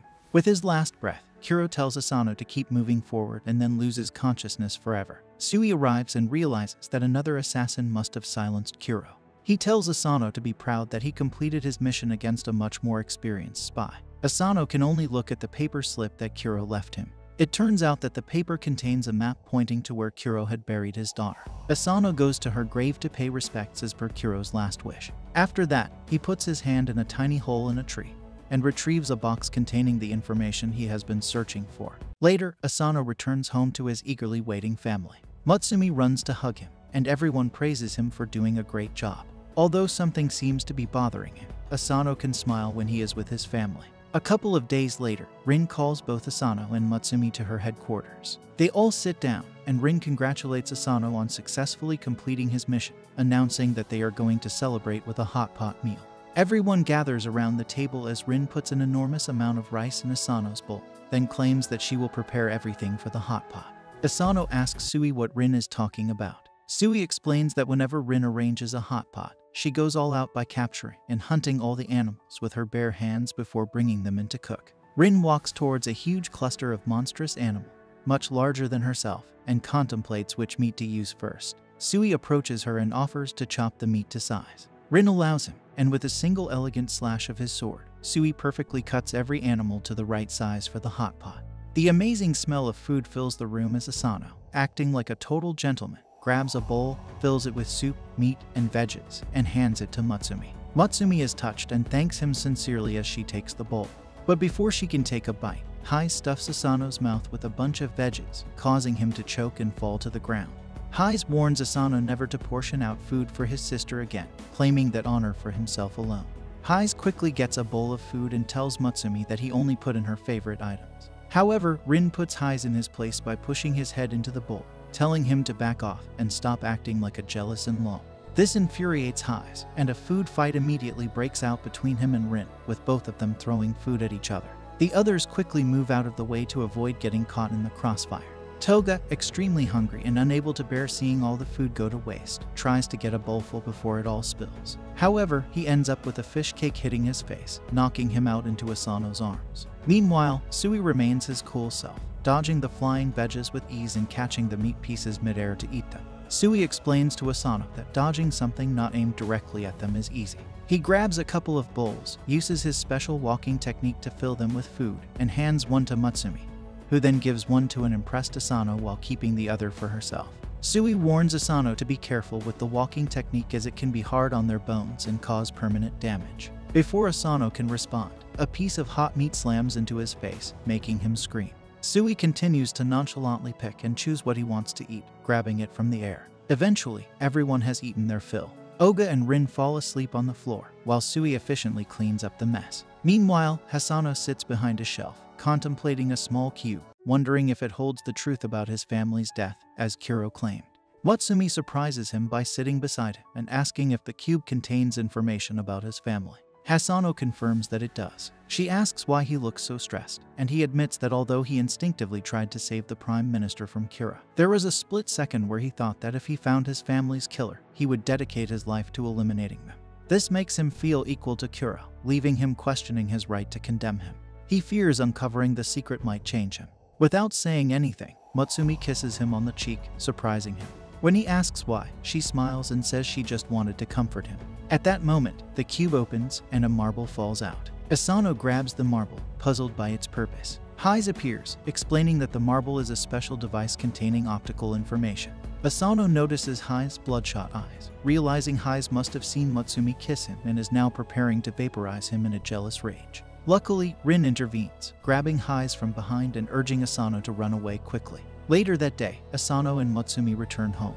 Asano feels extremely tired, his body heavy, and suddenly realizes someone is sitting on his head. It's Ayaka, the assassin, dressed in a maid outfit. Surprised, Asano asks what she's doing there. Ayaka explains that Mutsumi asked her to stay, and Mutsumi confirms that Ayaka will be their live-in maid, handling day-to-day tasks. Ayaka starts dancing around Asano, claiming she knows everything that has happened and about the optical drive he received. When Asano asks how she knows, Ayaka reveals that she is a spy and knows everything, grabbing the marble from his pocket. Asano tries to take it back, but Shin, with sleepy eyes, enters the room, takes the marble from Ayaka, and examines it. Shin notes that the marble is extremely old and slightly damaged, saying it will take considerable time to extract the data. While Mutsumi calls Ayaka over to teach her how to make good tea, Asano questions the wisdom of having a spy assassin in their house. Ayaka argues it's perfect timing, explaining that Asano's bounty has significantly increased due to his last mission, making him more prominent in the underworld and likely to face numerous assassination attempts. To prepare him, she will try to assassinate him daily while he practices evading her attacks. She throws a bunch of forks at him, leaving Asano pondering the kind of life he is now destined to live. Later that evening, Asano is utterly exhausted from training. He lies down on the table, unable to move, while Mutsumi offers to make him some tea. He thanks her but says he wants to take a bath first. He heads to the bathroom for a refreshing shower, only to be startled by Ayaka emerging from the bathroom. She begins clicking pictures of him, stating that it's essential for a spy to be vigilant, especially when they're vulnerable. Ayaka continues snapping pictures and then grabs a bottle, squirting an acidic solution that burns the walls. Asano dodges frantically, trying to escape. Suddenly, the house's defense system activates, shocking Ayaka in the bathtub. Ayaka, now trapped, warns Asano not to come near, as he would get shocked too. Desperate to save her, Asano breaks through the wall and finds the main power outlet. Without hesitation, he jumps into the tub, grabs Ayaka, and with his other arm, holds onto the power supply. Ayaka pleads with him to let her go, but Asano perseveres, managing to short the power supply and causing an explosion. Afterward, he stands over Ayaka on the ground. Unfortunately, Heise walks in at that moment, finding Asano in a compromising position. Infuriated, Heise grabs a prehistoric torture device, declaring that no man should even look at another woman if he's married to Mutsumi. Asano runs for his life as Heise and the smitten Ayaka chase him, both naked, through the house. A few days later, Asano resumes his regular missions. One day, he forgets his phone. When Mutsumi tries to hand it over to him, she notices a call from someone named Kaori. Asano quickly snatches it from her, claiming it's no one important before cutting the call and leaving. Mutsumi is left puzzled. Ayaka appears behind her, startling her. Ayaka dramatically claims these are signs of cheating, leaving early, coming back late, turning off his location, getting calls from unknown people, and evading her attempts to follow him. Ayaka insists these are clear signs of cheating, but Mutsumi trusts Asano and tells Ayaka not to worry. The next day, Mutsumi takes Goliath out for a walk with Asano. She expresses her happiness at spending quality time with him, given his recent busyness. Asano smiles and starts asking questions about Goliath's breed. Mutsumi explains that Goliath isn't an ordinary dog. He has been with the Yozakura family for hundreds of years, even serving as a guard dog for her great great grandmother. She reveals that Goliath is a special mix between a mystic wolf and a dog, allowing him to change shape. Right then, in front of Asano's eyes, Goliath transforms, becoming more wolf like and growing in size. Mutsumi mounts Goliath, demonstrating his strength, and asks Asano if he would like to join her. Goliath, however, has other plans and flicks Asano away with his tail, forcing Mutsumi to hand over only the leash. Immediately, Goliath takes off, running at an incredible speed and dragging Asano behind him, even splashing through water. By the time they are done, Asano is drenched and lying on the ground in a park. Suddenly, a couple of kids gather around Goliath to admire him. Mutsumi goes over, but Goliath senses danger. An explosion occurs, and thankfully, Mutsumi saves the kids while Goliath shields her. They soon realize that Asano tried to protect them and took the brunt of the damage. This angers Mutsumi, who asks Goliath to find the culprit. Goliath immediately sniffs the detonator and traces a route through the city. They discover that a third rate imitator, planning to kill Mutsumi, orchestrated the explosion from his mom's basement. The man is stunned to see Mutsumi still alive. Goliath bursts through his door and swiftly eliminates him. Later that evening, Asano receives a call, which he quickly hides, claiming he needs to return home. Mutsumi doesn't question him and asks Goliath to take them back. To their surprise, this time Goliath allows Asano to sit on his back, and they return home swiftly. Upon arriving, Asano is immediately attacked by Ayaka, who accuses him of cheating. Hearing this, even Heise arrives, ready to torture him. Before they can do anything, two people enter the room, identifying themselves as government spies. They clarify the misunderstanding, explaining that Kaoru is actually an old man. One of the spies produces special dark sweet tea leaves, which Asano had been trying to obtain. It turns out Asano wanted to get Heise's favorite tea leaves, which are extremely rare. He had gone through numerous missions to retrieve the ingredients but kept it a secret. Heise is overwhelmed with shame, realizing that someone he had antagonized so much did something so kind for him. Later that evening, they all sit down to enjoy the tea together, discussing future plans for the Yozakura family. This bring an end to our episode.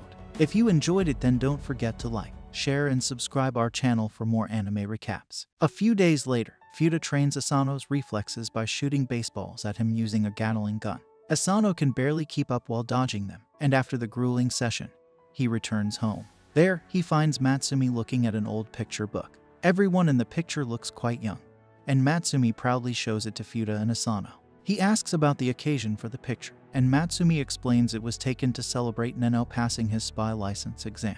Futa confirms that it is a family tradition to take a photo when someone gets their license. Asano, curious about the spy license, looks puzzled, and the girls watch him with confusion. Futa then explains that a spy license is like a membership card issued by the Spy Association, which was formed at the beginning of the 20th century by spies to foster mutual aid. The association conducts exams each year, and those who pass receive a spy license. Futa shows her golden license, the highest rank, and explains that licensed spies can get intel and job references from the association along with other benefits. Everyone starts at bronze rank, and by passing advancement exams, they can raise their level. As the levels increase, so do the difficulty of missions and benefits. Asano expresses a desire to take the license examination, and Futa encourages him. Just then, Hise arrives, having overheard the conversation. He reminds Asano that every family member has passed on the first try and warns him that if he doesn't, things will be bad. Hise starts chasing Asano around the room. Suddenly, they hear Ayaka screaming and find her crying and apologizing to Shin in her room. Everyone asks what happened, and Shin explains that Ayaka accidentally caused a glitch in her program by touching the cables. Suddenly, a horror scene from a movie plays on the giant screen, causing Asano to freak out. Mutsumi and Shin realize Futa is frozen with fear. Her siblings sigh as they take her out, bundled up in a blanket and shivering. Mutsumi explains that Futa is terrified of ghosts because her powers don't work on them. Shin recounts how Futa once destroyed a haunted house in the past. Mutsumi comforts her, saying she will be fine after resting, but Futa remains scared of every sound, climbing on Mutsumi's head when the wind rattles the windows. Shin mentions supposed paranormal activities in the house, which freaks out Futa even more until Mutsumi stops her from pulling Shin's hair out. Futa becomes very clingy, needing to be surrounded by her siblings and even asking Shin to accompany her to the washroom. When a horror program comes on TV, Shinzo shoots the remote to change the channel. Kengo tries to play pranks on her, but everyone reprimands him. After a day of caring for Futa, Mutsumi takes her to bed and asks Asano to stand guard so they can sleep peacefully. Futa is still shivering, so Mutsumi decides to read her favorite bedtime story, a modern adaptation of a famous Japanese folktale. As Mutsumi reads about an old lady finding a baby boy in a river during a brutal war, she falls asleep and Asano takes over. He reads about the boy growing up to become humanity's hope and eventually killing his demon best friend in the final battle. Asano finds the story cringeworthy, but Futa claps, having returned to normal. Futa apologizes to Asano for showing her vulnerable side. She explains how her mother used to read this story to her and how she feared losing what she held dear after her mother died. Futa admits feeling like a failure as the eldest daughter because she needs to be cared for instead of protecting her sibling. Asano empathizes, sharing his fear of losing loved ones motivates him to become stronger. Futa chuckles and asks him to go to his room, thanking him again and wishing him luck for his license examination. Asano leaves, and Futa gently caresses Mutsumi, covering her with a blanket. On the day of the spy license examination, the first task is to run with heavy weights tied to their feet. Mutsumi watches from the waiting area, cheering on Asano, who surpasses everyone and finishes first. While most are impressed, some are displeased. Later, Asano eats rice balls made by Mutsumi, who tells him to rest before his next test. The Mohawk guy he defeated earlier plans to attack Asano but is stopped by another participant, Hoshi, who uses a fan to blow him away. Asano thanks Hoshi, who reveals he was just protecting what he loves. Hoshi behaves creepily, taking close-up pictures of Asano and showing off a tiny doll he made from Asano's mission clothes and hair. Asano is freaked out, but the next test, freeing themselves from chains underwater, begins. Asano completes it easily, with Hoshi nearby, still making comments. The next test involves hide and seek with execution, and Hoshi continues to pester Asano. The final test is defusing a bomb, which Asano clears with time to spare, followed by a written exam with eliminations for wrong answers. Asano struggles with the exam until Hoshi shows him his answer sheet. After the last test, the contestants are told to collect their licenses but face one final challenge as the hallway crumbles. Asano and Hoshi dodge traps, but Mohawk hits Asano, knocking him down. Hoshi helps Asano, using his fan to lift them both to safety. and reveals he is a silver ranked spy and the proctor for the exam.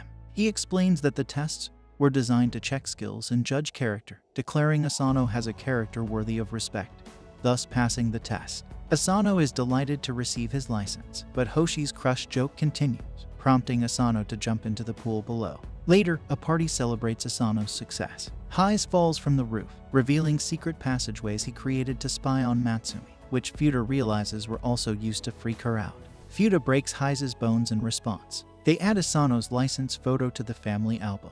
A couple of days later, Asano discovers an old man in his school bag, who explains that the face ID to the house resets if one is away for a year. Asano didn't want to deal with the traps, so he simply jumped into the school bag to be carried safely. Asano could only stare at the old man, dumbfounded.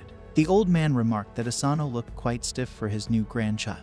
Asano's brain finally started working, and he immediately pulled out his gun, registering the old man as an intruder. Despite the old man's protests, Asano shot him.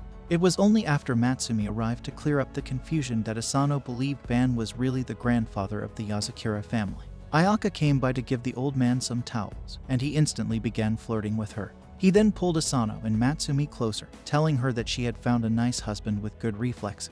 Ban even gave them a wedding gift, a thick bundle of money. Mutsumi asked if he had come all this way only for that, and Ban affirmed but claimed there was something else too. Suddenly, Ban started pulling Asano away with him, saying it was time for some valuable life lessons from Grandpa.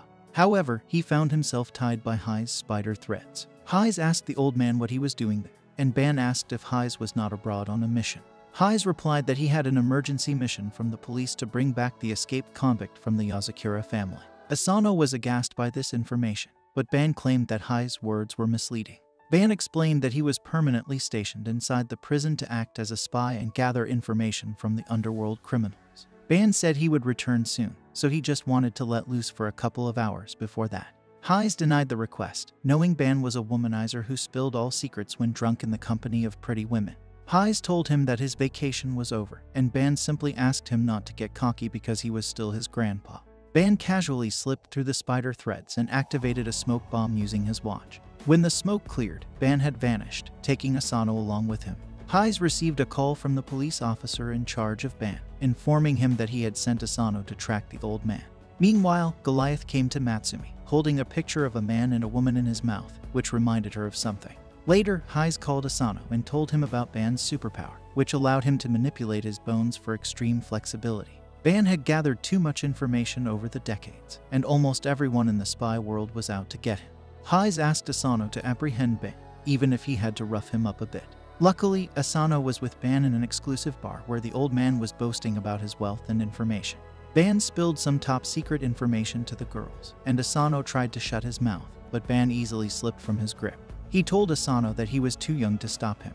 However, Ban found himself stuck in place with a special sticky slime prepared by Nana.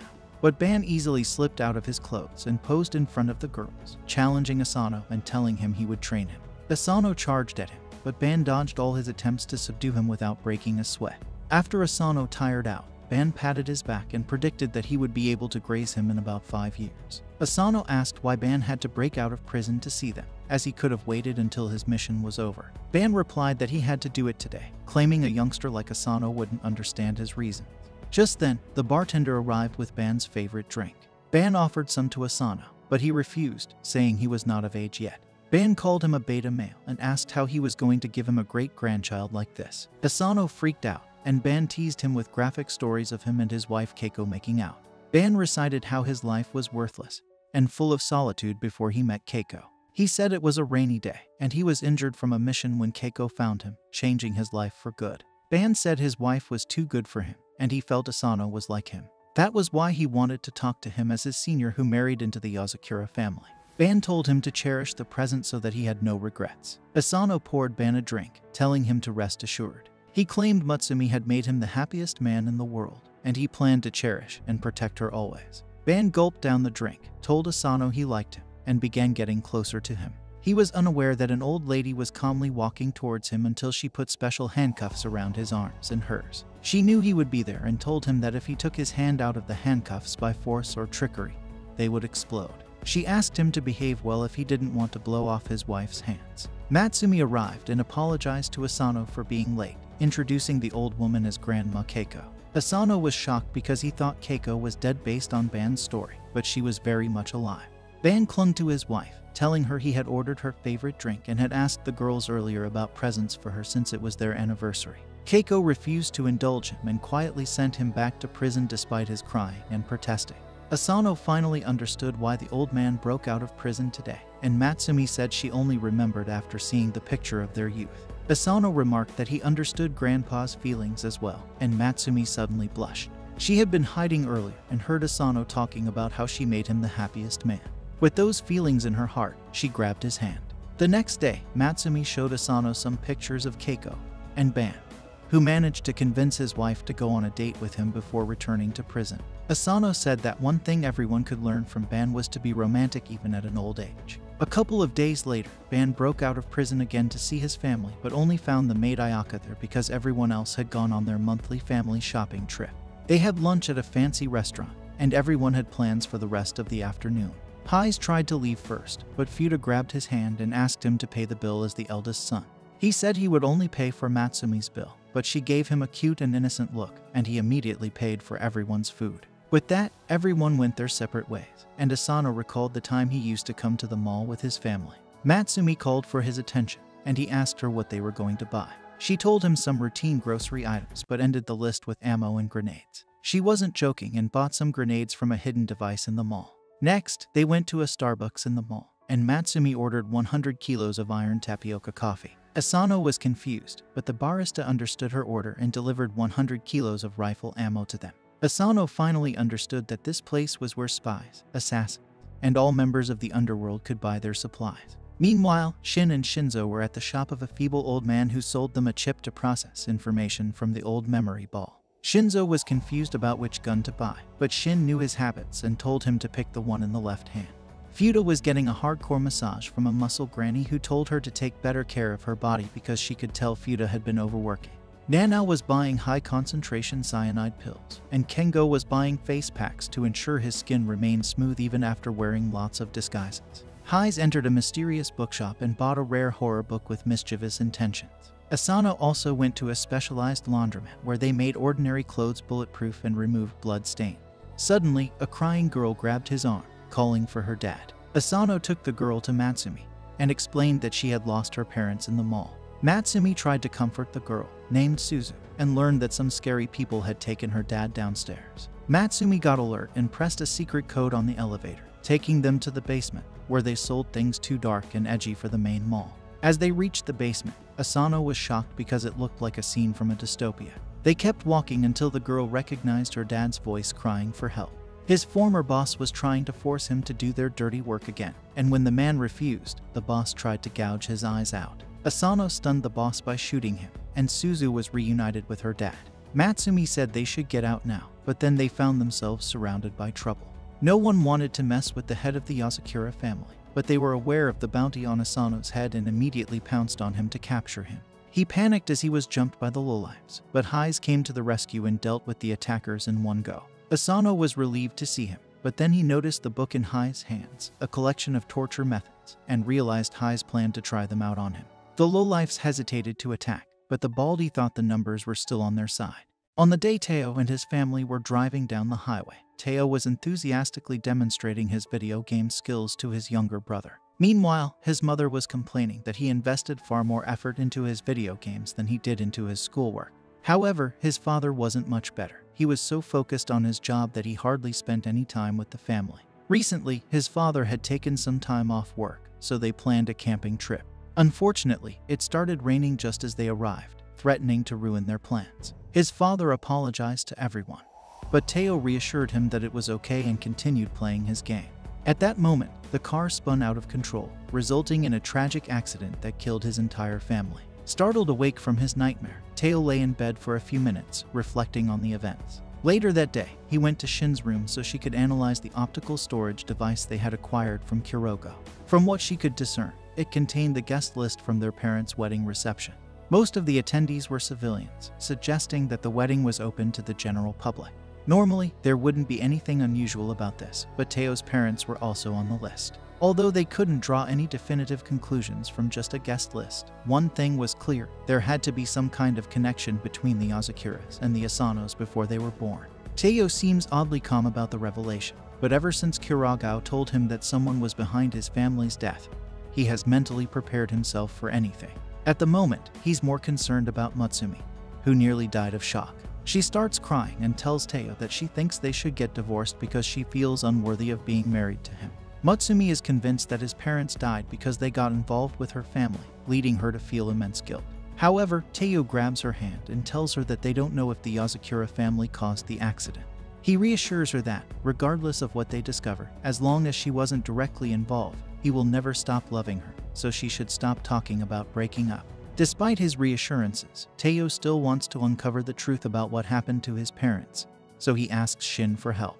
Shin says she already planned on helping him from the start since he is her little brother now, but she admits she's unsure where to begin because the information who enforces the quiet policy with deadly seriousness. Taiyo is relieved he didn't accidentally make a sound. Shin explains that the librarian is named Mei, and she despises any noise in her territory. The penalties for making noise vary depending on the volume. A sneeze could result in death, while just being loud might lead to broken limbs. As a silver ranked spy, Mei is someone Taiyo cannot defeat in a direct fight. His best chance is to avoid her, but this will be challenging since she patrols the library silently. As long as Taiyo remains silent, he should be safe. Even his earpiece is at risk of annoying Mei, so Shin reduces its volume as much as possible. As Taiyo sneaks around the library, he witnesses Mei take out a man simply because she didn't like his face. That seems particularly unfair to Taiyo. Taiyo continues searching the library as more and more people are killed for making even the slightest noise. At one point, Taiyo accidentally drops a book while searching, which would be enough to get him killed. Fortunately, he catches it before it makes any noise, much to the relief of everyone around. Despite his efforts, Taiyo struggles to find anything because of the library's complex organization. Eventually, he discovers a folder containing civilian records from the past 10 years. Inside, he finds his father Hadasano's records, but the file provides no useful information. Feeling disappointed that he risked his life for nothing, Taiyo notices a slot in the book for an optical storage device. He inserts the device, and the book's pages transform to reveal a file stating that Taiyo's family was eliminated by Tanpopo. Suddenly, the book initiates a self-destruct sequence, and within seconds, it explodes. The explosion is deafening, prompting Shin to warn Taiyo that Mei will be coming for him. Taiyo manages to dodge Mei's initial attack. Following Shin's instructions, he fires an electrical blast at an outlet, causing the entire library to lose power. Under the cover of darkness, Shin urges Taiyo to run. However, Mei quickly catches up to him, as she can track him by the sounds his body makes. As Mei prepares to kill Taiyo, Shin tells him to turn and run into a nearby corridor. Mutsumi then comes up with an idea. She instructs Taiyo to remove his earpiece and point it at Mei. When he does, Mutsumi raises the volume to the maximum and screams into the mic, knocking Mei out. Mutsumi had deduced that Mei must be extremely sensitive to sound, which is why she reacts so violently to disturbances. The high-quality earpiece overwhelmed Mei's ears, causing her to pass out. Despite the near-death experience, Taiyo gains a clue about his parents' killers. He later goes to Kyo for help in tracking down Tanpopo. However, Kyo uses the opportunity to vent his frustrations on Taiyo. While Taiyo is tied up, Kyo reveals that he has heard of Tanpopo before and that Taiyo's family wasn't their only victim. They also killed Mutsumi's mother. Kyo has used every resource available to the Yozakura family to track down Tanpopo but hasn't found any solid leads yet. Kyo explains that Tanpopo is a powerful organization targeting Mutsumi, and all their members have dandelion tattoos on their hands. Despite his frustration, Taiyo asks Kyo not to take it out on him. Kyo calms down and thanks Taiyo for his recent revelation about Tanpopo's involvement in his parents' deaths, which helped narrow down his search. Kyo discovered that around the time Taiyo's family died, 15 other medical professionals died in similar accidents. All of these individuals had interactions with the director of the Kawashita Clinic, Makoto. While Makoto may not be the mastermind, he is definitely involved. Tanpopo killed Mutsumi's mother, Taiyo's family, and now they are after Mutsumi as well. Kyo asks Taiyo if he would join him in exposing the truth about Tanpopo, and Taiyo readily agrees. To gather more information, Taiyo goes undercover at the Kawashita Medical Clinic as an old man with chronic lung disease, with Mutsumi posing as his elderly wife. Mutsumi enjoys playing her role, but she becomes concerned when Taiyo genuinely starts acting like an old man. When she inquires, Taiyo explains that Kyo forced him to wear heavy weights on this mission despite the danger. Mutsumi decides she will have a word with Kyo when they get home. Taiyo gets called next, so Mutsumi wheels him over to the doctor, bringing him face to face with Makoto. Makoto conducts a checkup and remarks that everything looks normal, expressing surprise that an old man like Taiyo still has all his teeth intact. He assures Taiyo that he will provide the best care possible and invites him to ask if he needs anything. Later, Taiyo is taken to his room. None of this makes much sense to Taiyo, as Makoto seemed genuinely dedicated to ensuring his patients receive good care. Meanwhile, Mutsumi enjoys spending time with Taiyo and acting as his wife. She hopes that in the future, they won't have to deal with assassinations and bounty, and they can spend time like this when they actually grow old. Taiyo thinks he might like that as well. That night, after Makoto clocks out and heads home, Taiyo decides to take action. He sneaks into Makoto's office and examines the computer. Despite looking like a regular computer, it contains numerous empty folders that seem out of place, a spotless browser history, and unnecessarily high security systems. Using some tech he borrowed from Shin, Taiyo scans the hard drive and finds files related to something called the Soma Yoshino project. These files reveal that the Yozakura family's superhuman abilities are due to a protein called Somanine, produced by the Yozakura family head's body. This protein allows family members to develop superhuman senses and ability at an early age. Moreover, Somanine is an effective doping agent for normal people and can be synthetically produced. To mass produce it, Tanpopo needs the natural source of the protein, Mutsumi Yozakura's heart. Shocked by this revelation, Taiyo is suddenly ambushed by Makoto, who pins him to the ground with a scalpel. Makoto had heard rumors about Taiyo but is surprised the assassination attempt on him failed. Taiyo asks if Makoto killed his family and Mutsumi's mother, but Makoto dismisses the question, believing Taiyo will soon be dead. He tries to stab Taiyo, but the scalpel is blocked by the weights Kyo forced Taiyo to wear. Taiyo pushes Makoto off and fires an electric blast at him, but it has no effect. Makoto neutralizes the blast, sets off a flashbang, and escapes with a laptop and all its information. Although disappointed that Makoto managed to get away, Taiyo is relieved that he copied much of the data onto Shin's flash drive. Now aware of Tanpopo's evil plot, Taiyo is determined not to let them succeed for Mutsumi's sake. This concludes episode 13. Don't forget to subscribe to not miss the next part.